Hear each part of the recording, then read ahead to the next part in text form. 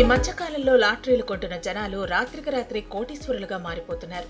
అయితే కోట్లాది మంది లాటరీలు కొంటున్న అదృష్టం మాత్రం ఒక్కరినే వరిస్తుంది. తాజాగా ఓ లాటరీ ఎనభై ఎనిమిదేళ్ళ వృద్ధుడి తలుపు తట్టింది.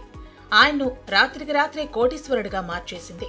పంజాబ్లోని డేరా బస్సీకి చెందిన మహంత్ ద్వారకా దాస్ అనే వ్యక్తి గత నలభై ఏళ్ళుగా లాటరీ టికెట్లు కొంటున్నాడు. కానీ ప్రతిసారి నిరాశే ఎదురైంది. కానీ అతను మాత్రం లాటరీ టికెట్లు కొనటం ఆపలేదు.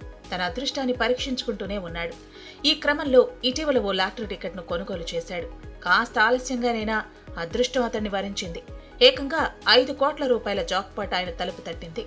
వీటిలో ట్యాక్సుల రూపంలో కోటిన్నర రూపాయలు పోను మిగతా మూడు కోట్ల యాభై లక్షల రూపాయలు మహంత్ ద్వారకాదాస్కు అందించనున్నట్లు లాటరీ నిర్వాహకుడు లోకేష్ తెలిపారు. మరోవైపు ఐదు కోట్ల రూపాయల జాక్పాట్ తగలడంతో మహంత్ సంతోషంలో మునిగిపోయాడు.